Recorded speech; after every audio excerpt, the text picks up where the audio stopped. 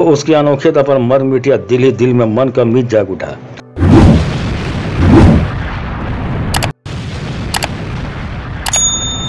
एक इंसान जो गरीबों का सेवक था, लोग उसे महादेव के नाम से पुकारता था।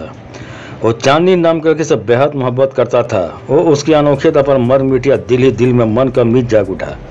और एक दिन उससे शादी करके उसका रखवाला बन गया और एक बच्चे को जन्म देकर उसका परवरिश करने लगा। लेकिन ये हेरा फेरी काम बहुत ज़्यादा करता था, क्योंकि उसे दौलत कमाने का बहुत शौक था। लेकिन लोगों ने उस पर आरोप लगा दिया कि एक नंबर का महाबदमाश है। ये सुनकर उसके बीवी को शक हो गया। उसने पूछा अच्छा बताओ, आप आधे दिन आधे तक क्या करते हैं? वो धर्म संकट में फंस गया। उसके सामने एक बहुत बड़ा इम्तहान था। उसने कहा कि मैं खून पसीना एक करके रुपए कमाता हूँ, लेकिन लोगों ने उसे गद्दार बनाकर चौकीदार के हवाले कर दिया। चौकीदार ने उसे सरकारी मेहमान बनाकर जेल यात्रा तक पहुँचा दिया है। जेल में उसे एक राजपूत से दोस्तिया हो गया वहाँ पर उसने फैसला किया कि हम दो यार कोई अच्छा काम करें। मगर कुदरत तो कुछ अभी मंजूर था। जेल से रिहाई के बाद उसे पता चला कि किसी हथियारा ने उसे परिवार को ख़त्म कर दिया है।